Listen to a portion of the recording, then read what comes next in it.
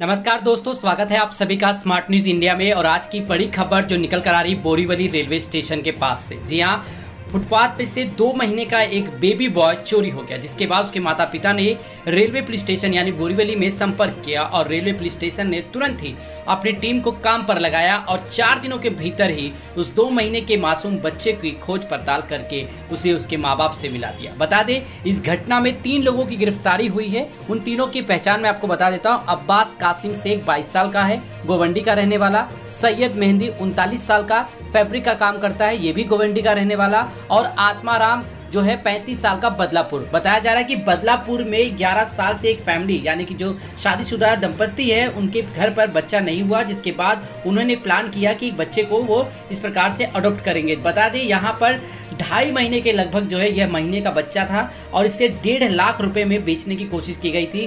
Borivali railway station east में से जी हाँ उसी फुटपाथ पर से। फ़िलहाल ऐसे लोगों के खिलाफ सख्त सख्त कार्रवाई होनी